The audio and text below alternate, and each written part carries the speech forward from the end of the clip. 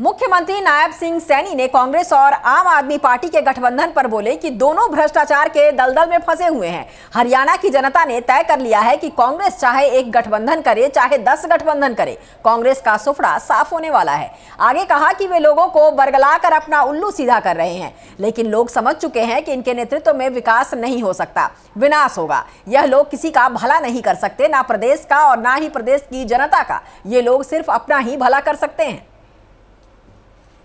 हाँ देखिए,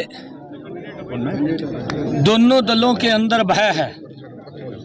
दोनों भ्रष्टाचार की दलदल में फंसे हुए हैं। हरियाणा की जनता ने तय कर लिया है, चाहे कांग्रेस एक गठबंधन करे, चाहे कांग्रेस दस गठबंधन करे, कांग्रेस का सुपड़ा साफ़ होने वाला है।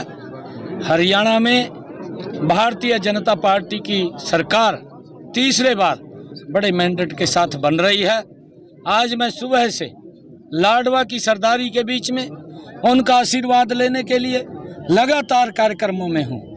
लोगों का भरपूर आशीर्वाद और सहयोग उनका मिल रहा है और लोगों ने एक संकल्प लिया है कि लाडवा तो हम जताएँगे, परंतु लाडवे से नियरेस्ट जितने भी ज़िले होंगे सब जिलों के अंदर कमल के फूल का हम खेती करने का काम करेंगे कमल का फूल खिलाने का काम करेंगे। ये भी संकल्प हमारे लाडवा के लोगों ने लिया है। मुझे खुशी है कि जो आशीर्वाद जो प्यार दिया है उससे मैं अभिभूत हूँ। आम आदमी पार्टी और कांग्रेस का जो समझौता होने जा रहा है कैसी चुनौती मानते आप?